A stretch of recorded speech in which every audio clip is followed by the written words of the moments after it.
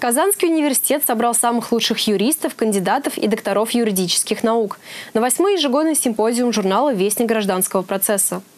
О том, как прошел форум в сюжете нашего корреспондента.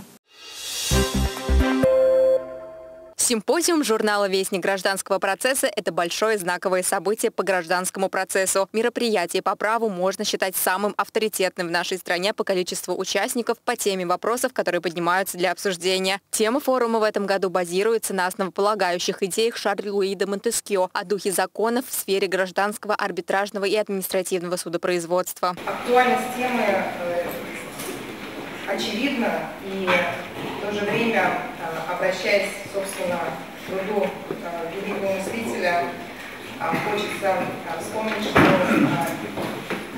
дух законов складывается с учетом того, что законодатель сумел уловить дух нации, дух народа. Симпозиум прошел в гибридном формате. Некоторые участники выступали в онлайне. Это все-таки журнальное мероприятие.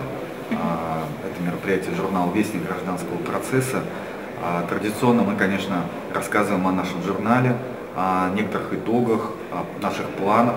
И также в раздачных материалах мы вот разместили 58 а, номер, а, который уже 10 лет издается. Этот журнал, 58 номер, сегодня будем мы презентовать, также дарить всем участникам симпозиума журнала «Вестник гражданского процесса». В рамках мероприятия участники симпозиума презентовали новые издания и проекты. В частности, прошла презентация новой книги, содержащей утерянные работы профессора Мейера. Юридический факультет КФУ и редакция журнала «Вестник гражданского процесса» провели презентацию своих проектов. Представила новые проекты и издательство «Статут». Большую часть мероприятия посвятили выступлениям участников с докладами и дискуссии. Огромная признательность и благодарность Валерию Дамиру Хамитовичу журнал стал таким органом, который объединяет вокруг себя лучшие научные силы нашей страны, иностранных ученых, и каждый раз позволяет нам обсуждать самые интересные, сложные, актуальные проблемы которые имеют выход как в теорию, так и в практику. На форуме здесь, э, в Казанском федеральном университете,